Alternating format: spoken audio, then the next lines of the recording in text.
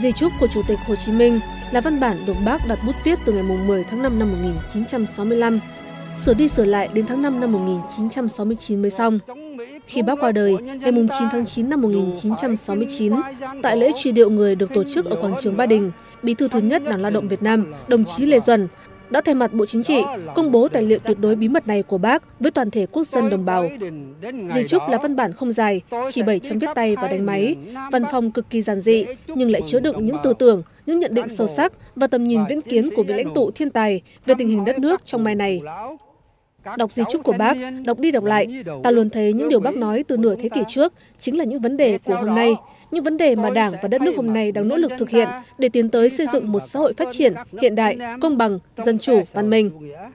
Và các nước bầu bàn khắp năm châu đã tận tình ủng hộ và giúp đỡ cuộc chống Mỹ cứu nước của nhân dân ta.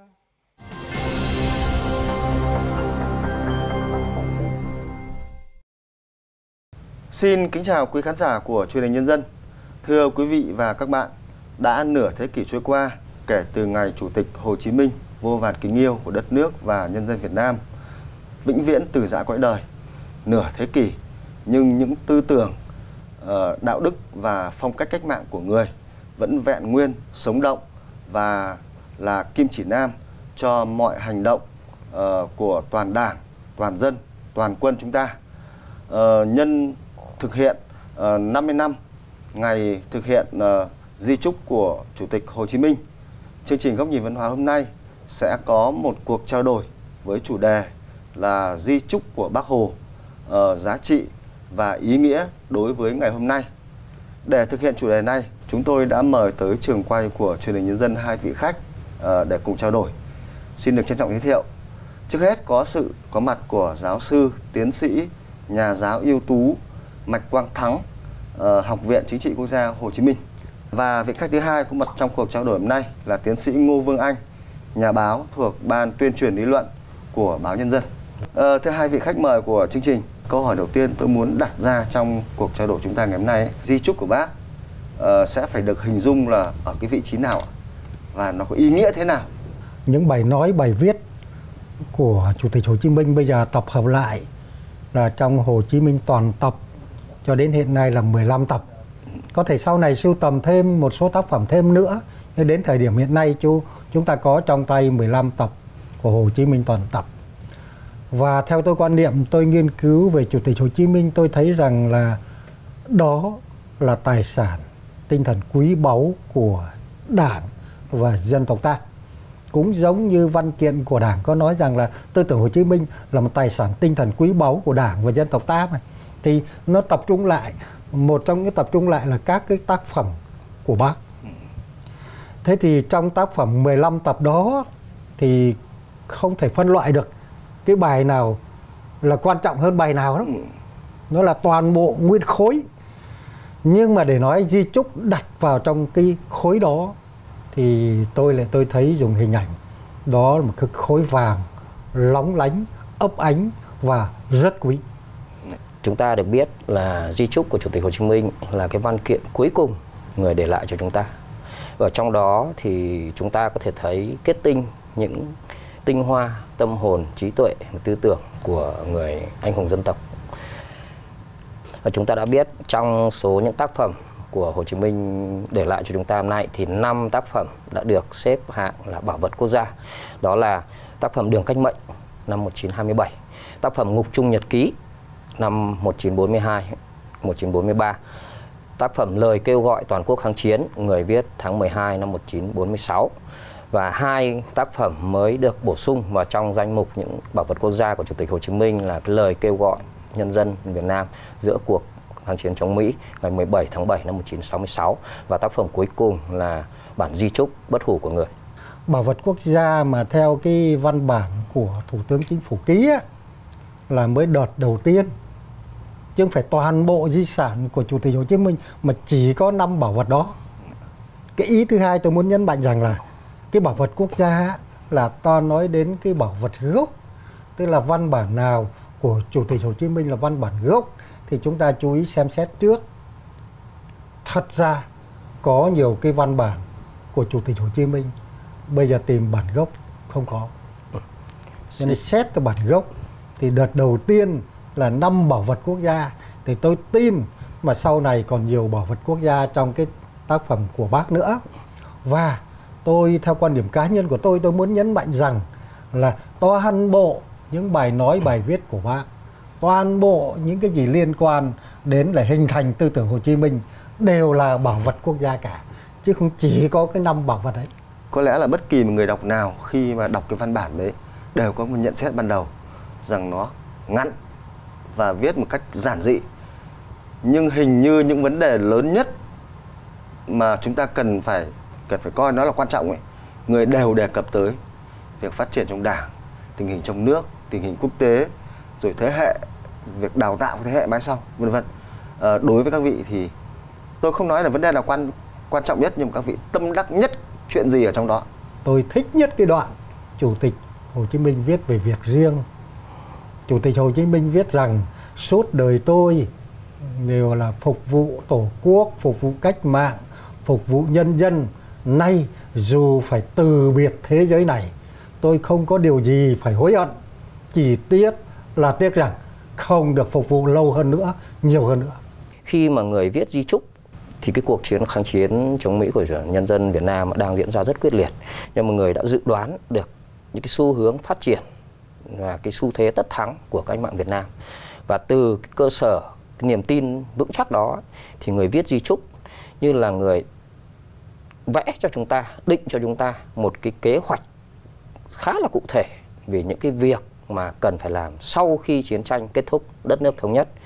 Ờ, tôi đặc biệt tâm đắc với cái cách đặt vấn đề cũng như cái cách nhìn của một người chiến sĩ cách mạng giàu kinh nghiệm và đặc biệt đặt cái lòng tin vững chắc vào nhân dân và cái sự thắng lợi của sự nghiệp cách mạng chính nghĩa.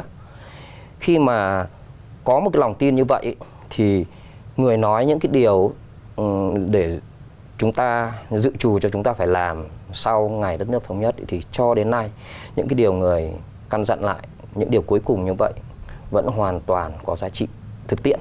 Bản di chúc của người được chăn trở viết đi viết lại trong khoảng 4 năm, tròn 4 năm và kết thúc là một trang cuối cùng người ta viết lại trang 1 năm tháng mùng 10 tháng 5 năm 194 1969. Thì ở cái đoạn bổ sung uh, tháng 5 năm 1968 thì người viết riêng hẳn một đoạn rất rõ ràng, rất cụ thể về những cái chính sách xã hội đối với nhiều tầng lớp nhân dân sau khi đất nước thống nhất và nhân dân bắt tay và tiến hành xây dựng lại đất nước. Thì với mỗi đối tượng cụ thể người đều nhấn mạnh những điểm chủ chốt nhất những điều cấp thiết nhất mà đảng phải chú ý. Coi như đó một cái công việc trọng tâm của đảng phải lãnh đạo nhân dân tiến hành để đem lại cái cuộc sống tốt đẹp hơn với nhân dân sau ngày chiến thắng. Chúng ta có thể thấy uh, người đề cập đến đầu tiên với các liệt sĩ và các gia đình liệt sĩ với thế hệ thanh niên với phụ nữ với nông dân và thậm chí với cả những người là nạn nhân của chế độ xã hội cũ thì những cái điều người căn dặn chúng ta tuy vắn tắt ừ, xúc tích nhưng mà nó chứa đựng một cái phương hướng chiến lược cho hôm nay. Trong 50 năm đó thì toàn đảng, toàn quân, toàn dân chúng ta đã thực hiện một cách rất tích cực di chúc, những lời dặn trong di chúc của Chủ tịch Hồ Chí Minh. Có những thành tựu lớn, tất nhiên còn có những hạn chế không tránh khỏi đâu. Hạn chế đó do cái khách quan và đồng thời có thể do cả chính bản thân mình, tức là nguyên nhân chủ quan. Thế bây giờ nhìn lại như thế thì chúng ta thấy những cái điểm lớn mà chúng ta có thể thực hiện tốt này. Thì cái tiền đề đầu tiên như tôi nói là thắng lợi trong cuộc kháng chiến chống Mỹ cứu nước. Đấu tranh giải phóng dân tộc tên ấy. đế quốc vâng. giàu đầu sỏ hùng mạnh nhất trên thế giới mà quân đội Mỹ chưa thua ai bao giờ cả thua Việt Nam rồi sau khi thắng đế quốc Mỹ xong thì chúng ta làm tốt cái nhiệm vụ bảo vệ tổ quốc chiến tranh biên giới phía tây nam chiến tranh biên giới phía bắc và hiện nay cũng đang làm như vậy rồi trong cái 50 năm đó chúng ta đề đảng đề ra đường lối cách mạng nhất là từ năm 86 để ra đường lối đổi mới, đưa đất nước khắc phục những khó khăn, vượt qua thách thức, nguy cơ và đã đạt được những thành tựu mà chúng ta thấy rất đáng tự hào.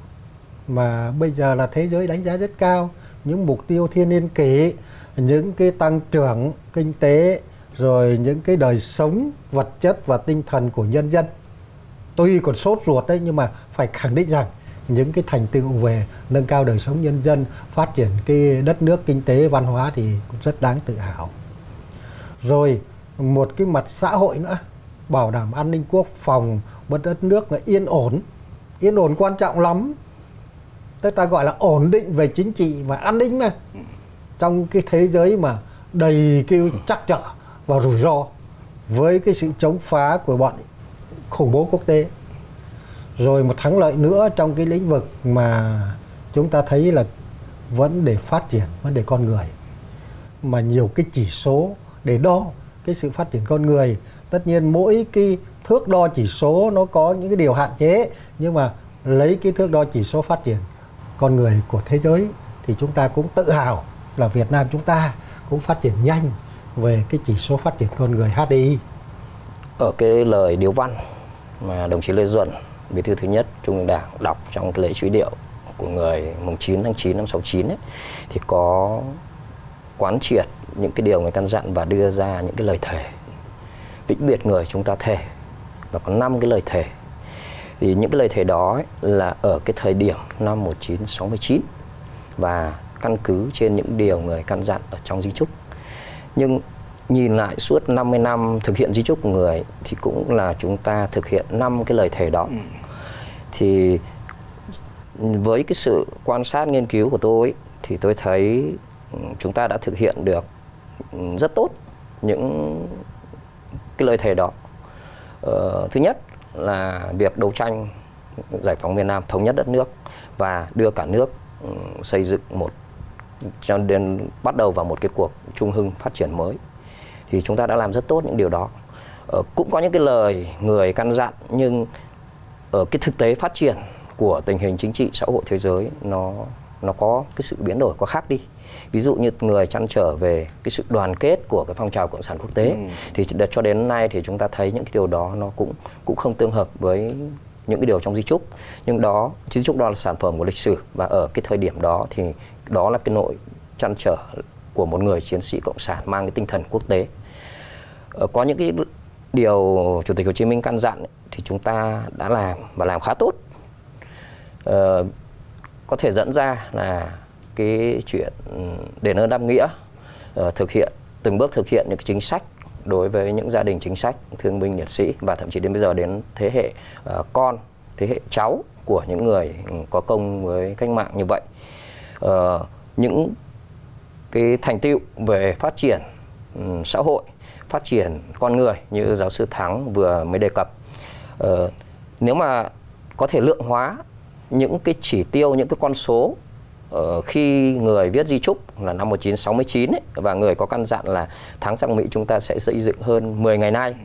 Nhìn lại 50 năm thực hiện di trúc của Chủ tịch Hồ Chí Minh ấy, thì chúng ta càng thấy cái tầm nhìn chiến lược của Chủ tịch Hồ Chí Minh khi đặt bút viết những dòng di trúc đó cách đây đã 50 năm thì những cái công việc người gửi gắm, người để lại cho chúng ta nhấn mạnh chúng ta phải thực hiện hôm nay ấy, nó đều là những vấn đề có tính chiến lược và chúng ta sẽ còn phải tiếp tục thực hiện trong tương lai. À, thực ra thì trong cái di trúc của Chủ tịch Hồ Chí Minh thì có rất nhiều vấn đề mà người đã đặt ra và như là ý kiến của hai vị vừa cho biết ấy, chúng ta đã thực hiện rất tốt, rất tốt. Nhưng vẫn còn có những câu chuyện khác mà tôi quan tâm tới một trong những câu chuyện đấy ấy, là cái điều mà chính giáo sư tiến sĩ Mạch Quang Thắng vừa mới vừa mới đề cập ấy, tức là cái cái việc mà đời sống văn hóa xã hội nó phát triển không tương xứng với sự phát triển kinh tế. Chính vì thế mà nó dẫn tới một cái thực tế hiện nay. Chúng ta dở bất kỳ một tờ báo hay nghe bất kỳ một đài phát thanh truyền hình nào cũng thấy kêu ca về cái việc mà thậm chí cái việc này là việc mà chính lãnh đạo đảng và nhà nước cũng nói là sự xuống cấp của văn hóa xã hội. Thì phải chăng đây là một cái việc mà nếu như nhìn lại di chúc của bác thì buộc chúng ta phải suy nghĩ rất nhiều. Vâng đúng thế. Tôi thấy là chúng ta phải suy nghĩ nhiều về vấn đề này. Tìm hiểu xem tại nguyên nhân tại sao nó lại như thế. Kinh tế tăng trưởng như vậy, đời sống vật chất có thể lên như vậy. Những cái gọi là đời sống tinh thần á, hay nói một cách rộng ra là văn hóa đó. Mà có người đề nghị trong đại hội 13 sắp tới á, khi nói về xây dựng đảng, không chỉ đặt đạo đức đâu, mà đặt văn hóa, nghĩa nó rộng hơn. Thế trở lại vấn đề về văn hóa nói chung thì chúng ta chưa được quan tâm đúng mức. Cái đó là mình nhận thức nhận thức phải quan tâm đúng mức hơn. Trong xã hội bao giờ có cái đời sống vật chất, đời sống tinh thần. Và đời sống tinh thần là sự tổng hòa của nhiều yếu tố. Trong đó có cả cái, các cái tổ chức của hệ thống chính trị, có con người của bộ máy và có toàn thể con người trong cái cộng đồng đó, trong cái xã hội đó thế thì để muốn mà khắc phục cái nguyên nhân này thì chúng ta phải trở lại tư tưởng của bác hồ thôi. Cái văn hóa tinh thần là nền tảng tinh thần xã hội. Là động lực phát triển là văn hóa soi đường cho quốc dân đi. Ừ. đừng có quên văn hóa này. Và đừng coi cái kế hoạch phát triển văn hóa quan tâm văn hóa là kiểu như đầu thừa đuôi thẹo. Xong kinh tế các thứ mặt rồi mới chú ý đến nó. Hãy chú ý đến hàng ngày trong công tác của đảng của nhà nước của các hệ thống, của các tổ chức trong hệ thống chính trị. Cái điều này không ngoài cái quan điểm của chủ tịch hồ chí minh, rất coi trọng văn hóa.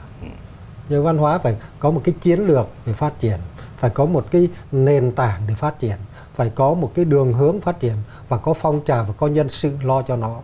Và tôi muốn nói cái điều điều chốt của vấn đề này, đảng cầm quyền. Đảng cầm quyền phải thật mạnh, thật trong, thật sạch thì xây dựng văn hóa nó mới tốt cho nên nói là nói văn hóa nhưng lại quay lại nói vấn đề xây dựng đảng. Mà cái đó thì chính chủ tịch Hồ Chí Minh đã nói ngay. Vâng đúng chủ tịch Hồ Chí Minh đã đã đề cập rồi. Vâng uh, thưa hai vị khách của chương trình uh, chúng ta có thể thấy rằng trong cái dịp mà chúng ta kỷ niệm 50 năm thực hiện di trúc của chủ tịch Hồ Chí Minh thì một điều chắc chắn là rất nhiều hội nghị hội thảo tọa đàm rất nhiều bài viết bài nói cũng về cái chủ đề này uh, đã đã đã đã được tổ chức đã diễn ra đã xuất hiện. Uh, cũng chắc chắn rằng rất nhiều cái suy nghĩ đau đáu về những lời dặn của bác ở trong di trúc uh, đã được thảo luận. Uh, và chính vì thế mà chúng tôi coi rằng và hy vọng rằng là cái cuộc trao đổi chúng ta hôm nay sẽ góp thêm được một cái phần nào đấy có ít nhiều ý nghĩa đối với việc mà chúng ta nhận thức và nhận thức lại về uh, những lời dặn của bác. Um, để mà để mà để mà thực hiện nó một cách tốt hơn có hiệu quả hơn uh, trong những ngày sắp tới. Vâng uh, một lần nữa thì rất cảm ơn các vị đã tham gia và chia sẻ quan điểm của mình trong chương trình của chúng tôi ngày hôm nay. Vâng xin cảm ơn các quý vị